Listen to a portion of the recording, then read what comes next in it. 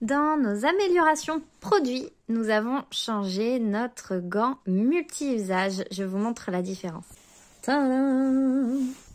Alors, au niveau de la différence, alors je le découvre en même temps que vous.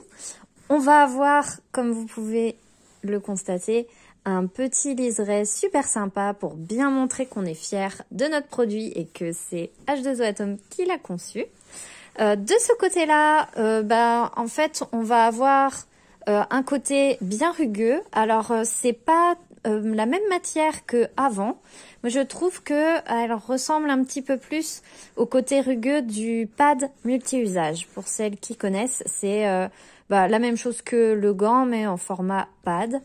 Et l'autre côté, c'est un côté tout doux, tout doux. Voilà, moi je l'adore ce côté-là. J'ai l'impression de caresser mon lapin.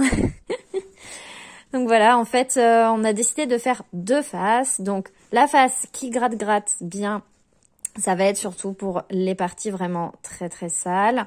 Euh, et pouvoir gratter davantage.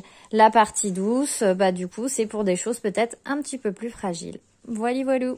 Des bisous, à bientôt